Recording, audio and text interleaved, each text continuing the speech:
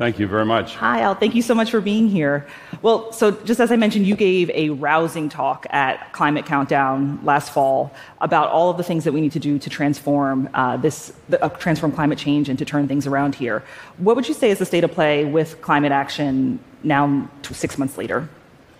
Well, thanks in part to many of the people that are part of the TED community, we've seen tremendous progress in the development of affordable, cheap solar electricity, wind electricity, electric vehicles, batteries, regenerative agriculture, green hydrogen is coming along, sustainable forestry. But unfortunately, the crisis is getting much worse, much faster than predicted, and it is getting worse at a rate faster than the rate at which we're deploying these solutions. We have everything we need save sufficient political will. It's been that way for a while. Uh, and just since the Glasgow uh, conference, we have seen a lot of backsliding. And we've seen financial institutions, uh, banks, and large investors pumping more and more and more money into more and more fossil fuels. It is quite literally insane. Mm. Today, we will put another 162 million tons into the thin shell of atmosphere surrounding the planet. Uh, and the accumulated amount now traps as much extra heat as would be released by 600,000 Hiroshima class atomic bombs exploding every 24 hours. Uh, just, you know, 95 miles northeast of here, uh, in Lytton, British Columbia, it reached 121.3 degrees less than a year ago, mm-hmm, wow. uh, 49.6 uh, Celsius. More than 80 all time high temperature records were broken here in British Columbia just in less than a, a year ago. And one day later, by the way, the entire town burned up. Uh, yesterday, massive death in the Philippines from another superstorm fueled by the climate crisis. Chile just yesterday declared a drought uh, emergency. Uh, but we are seeing the development of the solutions. Unfortunately, the, the financial interests, the fossil fuel companies, have captured the policymaking process in key countries and have intentionally zombified as many people as they can around the world with false messaging that they knew was false. Mm. They knew it, it's been proven to a fairly well.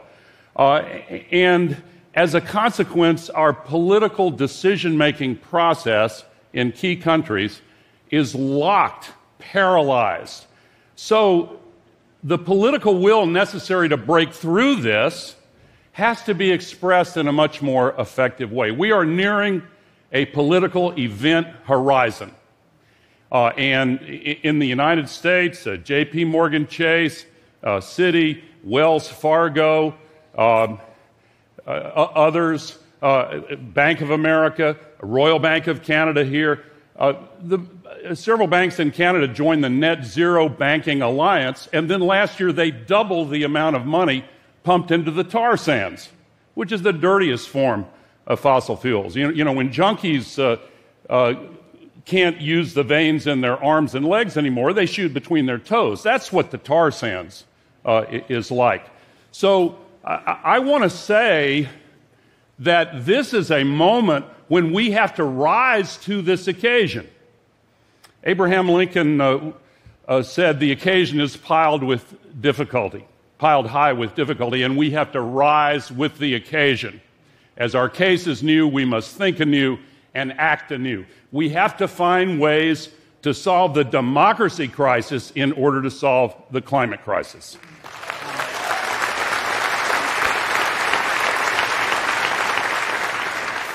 Well, you know, I think with the war in Ukraine, we're now seeing the question of energy security being brought center stage. And I'm curious what you think that will do in terms of accelerating or decelerating the transition, the energy transition?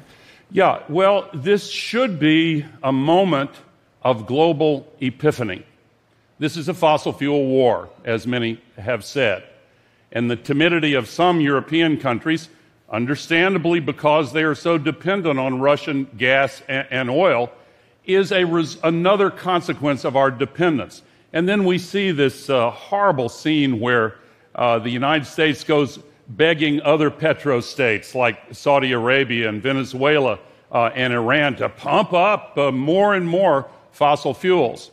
We should see this as a threat to national security and global security.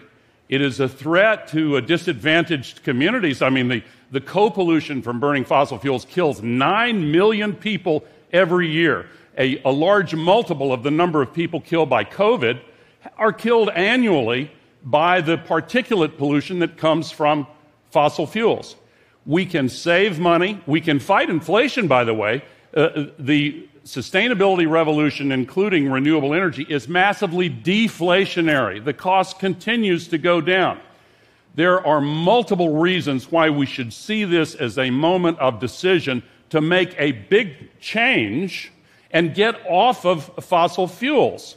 We can't keep pumping more and more money in pursuit of short term profit in activities that are destroying the future of humanity. This is not a time for moral cowardice. This is not a time for surrender uh, and reckless indifference to the fate of humanity. Mm.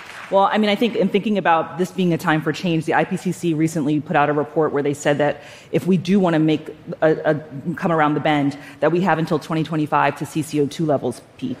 I mean, that's just three years from now. How realistic do you think that actually well, is? Well, actually, what they said, it needs to peak between 2020 and 20 and no later than 2025. Yes. First, let me uh, share some good news from that dire IPCC report.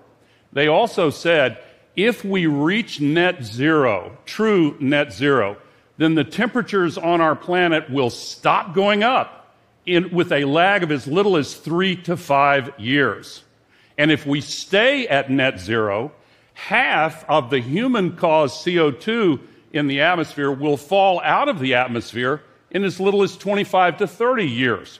We have the technologies, we have the solutions, we have the ability to stop this progressive destruction of the future of humanity and start the long healing process.